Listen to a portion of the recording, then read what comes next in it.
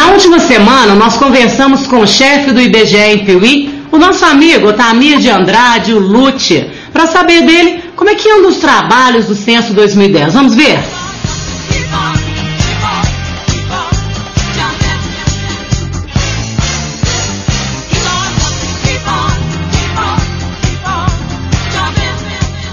Portanto, vamos às informações que o senhor Otamir vai falar com a gente. Tudo bem, Lute? Tudo bem.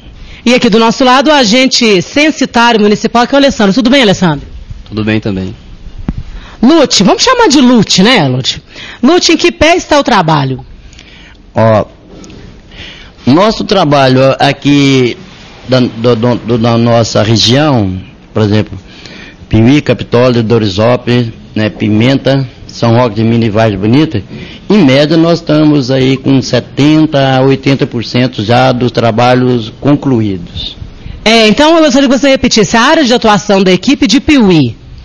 De Piuí é, conta, vamos por ordem alfabética, é Capitólio, Doresópolis, Pimenta, Piuí, que é a sede aqui né, da coordenação de, da, da subárea, é, São Roque de Minas e Vargem Bonita. Já está bem adiantado o trabalho então, né, Lute? Já, já, já tem os municípios aqui igual Piuí, nós já estamos aí com 87%, né, Alessandro?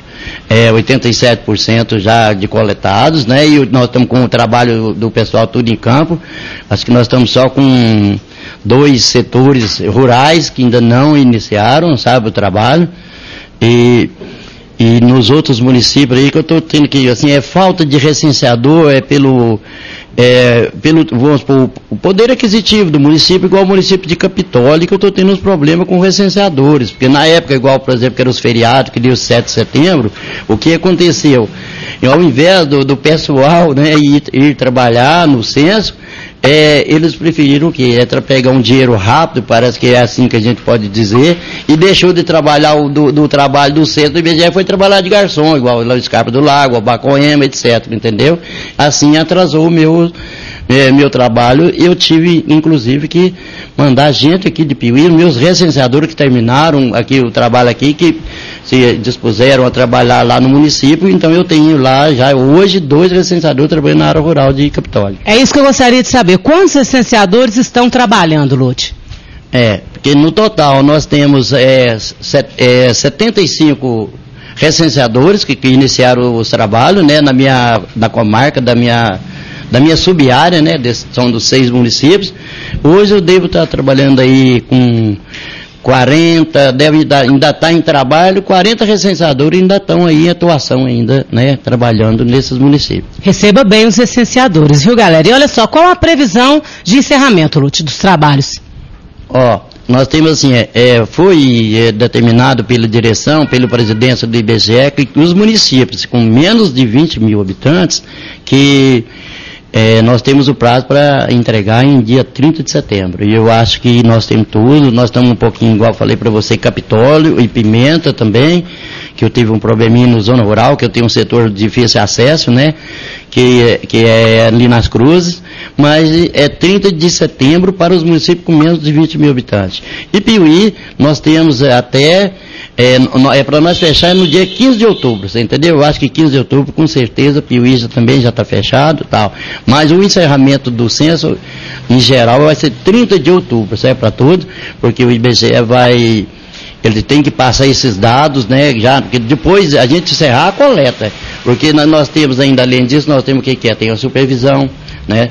Igual, por exemplo, você acaba de de, de, de, coletar, e depois tem muitos, igual Piuí, por exemplo, eu estou com um número elevado de, de, de, de, casas vagas, né, que eu estou com quase 900 casas vagas já em Piuí, então o que, que é? Nós temos que fazer varredura, você entendeu? Mas o prazo nosso entregar, 30 de outubro, nós já temos que entregar isso o trabalho de todos os municípios. Eu acredito que vocês vão conseguir com certeza. Lúcio, agora é uma curiosidade minha. No último censo, quantos mil habitantes nós tínhamos em Piuí?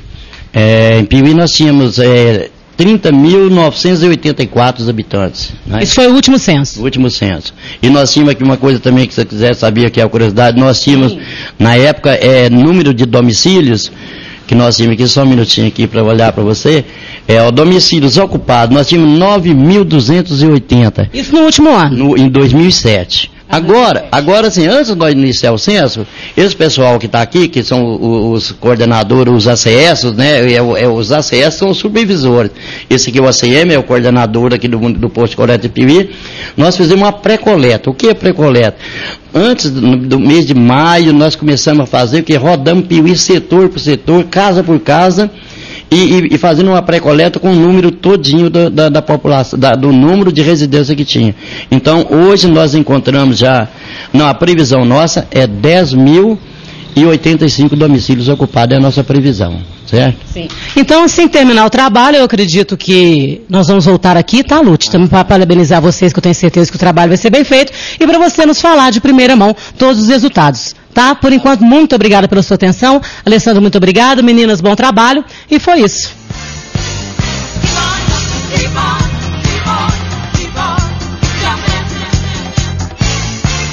E agora atenção, não vá reclamar depois que foi por falta de aviso que você não participou da promoção da Bonelli. Veja aí o recado. Se você está afim de ganhar um dormitório de casal Bonelli, participe da promoção Bonelli 10 anos. Em setembro, a Bonelli estará associando um dormitório de casal completo. Para participar, anote nome e endereço num papel, coloque no envelope e escreva por fora do envelope. É bom, é bonito, é Bonelli e é barato. Deposite numa das urnas espalhadas pela cidade. Urna 1, Escritório da Bonelli, Praça de Furnas. Urna 2, Fábrica Bonelli, a Rua Joaquim Beijo. E urna 3, no corredor do Piuí na TV. Participe e boa sorte. Apoio Cultural Móveis Bonelli. Piuí na TV. Apoio Cultural, Instalo Supermercado, Praça de Furnas e Praça Francisco Campos. Sua família merece o melhor.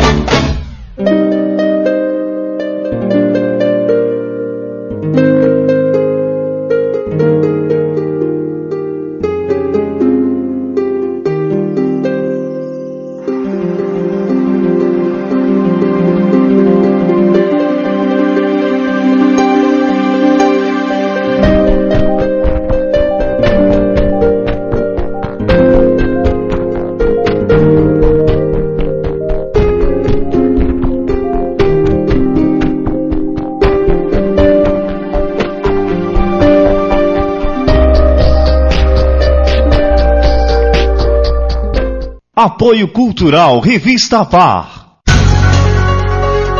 Talvez você ainda não seja cliente de Fábio.com, por isso nós vamos lhe dar agora algumas boas razões para você também se tornar mais um cliente de carteirinha Fábio.com. Primeiro, Fábio.com atua há menos de dois anos no segmento de venda, distribuição e prestação de serviços em informática e já se tornou uma referência no mercado regional. Segundo, Fábio.com só trabalha com produtos de procedência garantida. É tecnologia de ponta com garantia de origem e qualidade. Terceiro, em matéria de assistência técnica, Fábio.com é imbatível. Possui uma equipe qualificada, eficiente, preparada e o que é muito importante, uma equipe ágil que resolve o seu problema rapidamente. E para finalizar, Fábio.com possui hoje mil clientes fixos cadastrados e está comemorando a marca de 1.600 computadores novos entregues em Piuí região. Venha você também ser mais um cliente satisfeito com Fábio.com. Apoio Cultural Fábio.com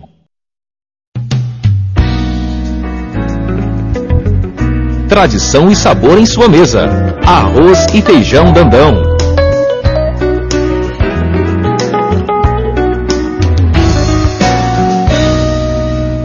Apoio Cultural CBVIL.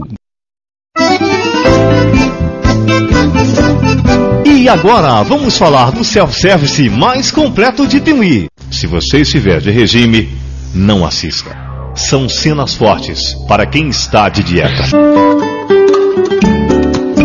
Estamos falando do Restaurante Estalo. 30 anos de boa comida. Diariamente 16 pratos quentes e 16 pratos frios no buffet.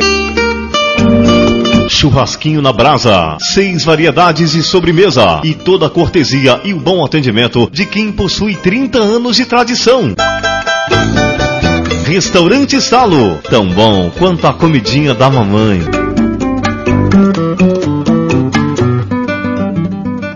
Apoio Cultural, Estalo Restaurante. Tá a fim de saborear uma bela carne de boi, porco, ave ou peixe? Açougue do Carlinhos. Apoio Cultural, Açougue do Carlinhos. Piuí na TV. Apoio Cultural. Instalo Supermercado.